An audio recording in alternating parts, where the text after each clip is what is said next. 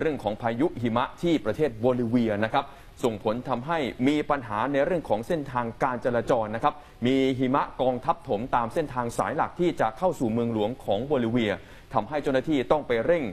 ก็บกวาดนะครับ แล้วก็ยังมีภาพของการจราจรที่ได้รับผลกระทบติดขัดอย่างหนัก รถบางคันต้องลื่นถลายออกจากถนนนะครับ เนื่องจากว่าตอนนี้พื้นถนนค่อนข้างลื่น มีทั้งน้ำแข็งแล้วก็หิมะนะฮะ ส่วนที่จีนเองนะคะ ก็เกิดแผ่นดินไหวขนาด 5.1 ที่มณฑลเสฉวนนะคะ แต่ว่าโชคดีที่ยังไม่มีรายงานผู้ได้รับบาดเจ็บหรือว่าเสียชีวิตค่ะ ไปดูเหตุการณ์นี้กันเลยนะครับสำหรับแผ่นดินไหวที่ประเทศจีน ซึ่งมีการรายงานออกมาจากทางการท้องถิ่นว่า เป็นแผ่นดินไหวขนาด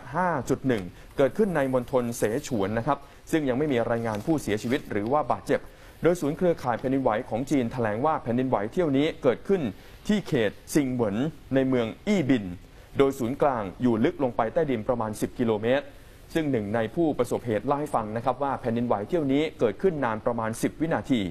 โดยทางสำนักงานสาธารณะในเขตซิงหวนที่เมืองอี้บิน แจ้งว่าเท่าที่ผ่านมาไม่มีรายงานผู้เสียชีวิต แต่ล่าสุดมีการไปประเมินความเสียหายจากทางเจ้าหน้าที่ พบว่าเกิดความเสียหายขึ้นเล็กน้อยที่บริเวณอาคาร และโรงเรียนหลายแห่ง ในช่วงที่เกิดแผ่นไหว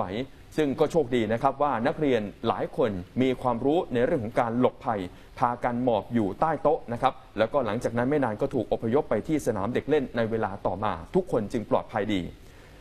ส่วนเหตุการณ์พายุหิมะพัดถล่มนะครับในโบลิเวีย สร้างความโกลาหลบนทางหลวง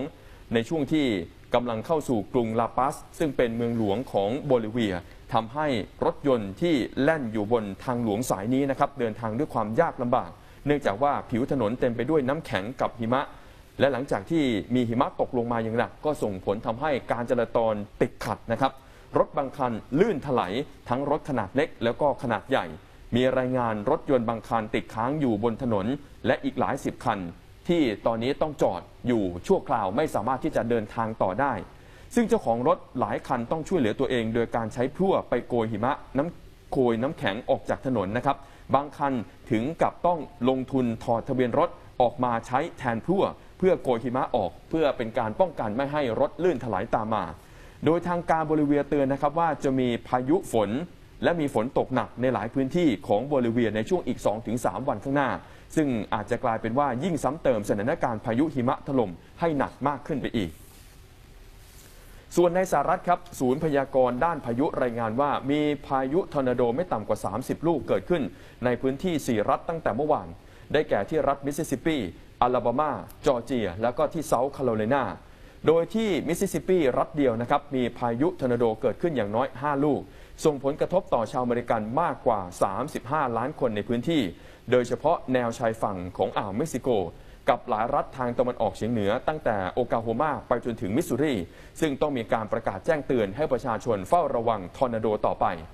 ขณะเดียวกันยังมีรายงานฝนฟ้าคะนองรุนแรงในพื้นที่ทางตะวันออกเฉียงเหนือของสหรัฐ มีผู้เสียชีวิตอย่างน้อย 2 คน ทั้งที่จอร์เจีย และก็เท็กซัส ส่วนผู้บาดเจ็บมีอยู่ 3 คน ที่รัฐเซาท์แคโรไลนาบ้านเรือนของประชาชนเสียหาย บางหลังเสียหายหนักถึงขั้นหลังคาหายไปทั้งแถบ เหลือไว้แต่เพียงโครงบ้าน ต้นไม้ใหญ่หักโค่นลงมา ไฟฟ้าดับมีผู้ได้รับผลกระทบในพื้นที่ไม่ต่ำกว่า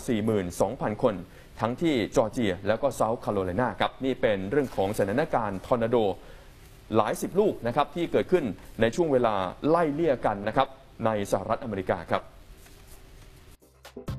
ขอบคุณสำหรับการติดตามรับชมในทีเด็นข่าวค่ำนะครับ อย่าลืมครับ ถ้าหากว่าไม่อยากจะพลาดการติดตาม กดไลค์กดแชร์ กด Subscribe แล้วก็กดที่รูปกระดิ่งนะครับ เพราะว่ายังมีคลิปที่น่าสนใจ รอให้ติดตามอยู่ในข่าวทีเด็นครับ